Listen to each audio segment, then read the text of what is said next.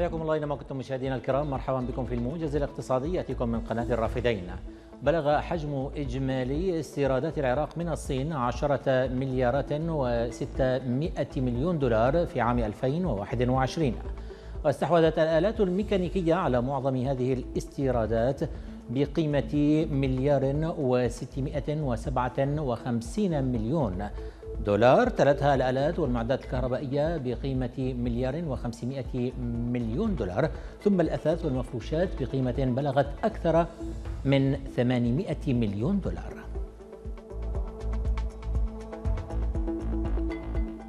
ارتفعت أسعار خامي البصرة المتوسط والثقيل مع ارتفاع أسعار النفط عالمياً وارتفع خام البصرة المتوسط المصدر لآسيا 13 سنتا ليصل إلى نحو 73 دولارا للبرميل الواحد وارتفع خام البصرة الثقيل المصدر لآسيا 13 سنتا أيضا ليصل إلى أكثر من 66 دولارا.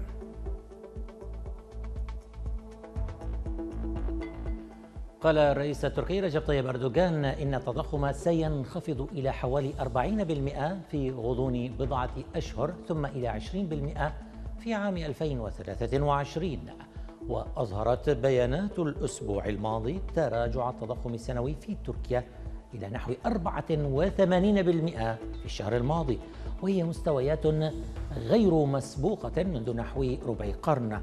وكان البنك المركزي التركي قد خفض سعر الفائدة من 19 إلى 9% فقط استجابة لدعوة الرئيس التركي رجب طيب أردوغان بهدف تحفيز الاقتصاد الإنتاجي حيث تعطي الخطط الاقتصادية للرئيس التركي الأولوية للنمو والتوظيف والاستثمار والصادرات. ارتفعت أسعار النفط بأكثر من 1% مع استمرار إغلاق خط أنابيب رئيس لإمداد الولايات المتحدة أكبر مستهلك للخام في العالم. وسط توقعات بتخفيض قيود كوفيد 19 في الصين ثاني أكبر مستخدم على مستوى العالم. وارتفعت العقود الآجلة لخام برنت 83 سنتا لتصل إلى 78 دولارا و82 سنتا للبرميل. في حين ارتفعت العقود الآجلة لخام غرب تكساس الوسيط الأمريكي 72 سنتا لتصل إلى 73 دولارا و89 سنتا.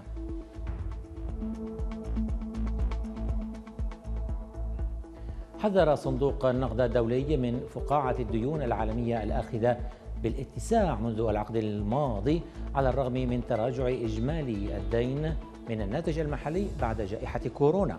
وقال الصندوق إن توقعات النمو الاقتصادي الضعيفة على مستوى العالم والسياسة النقدية الأكثر صرامة تستدعيان الحذر في إدارة الديون العالمية.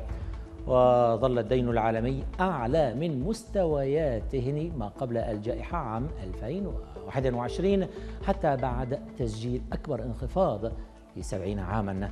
وانخفض إجمالي الدين العام والخاص في عام 2021 إلى ما يعادل 2 أو 247% من الناتج المحلي الإجمالي العالمي. وانخفض بمقدار 10 نقاط مئوية عن مستوى ذروته في عام 2020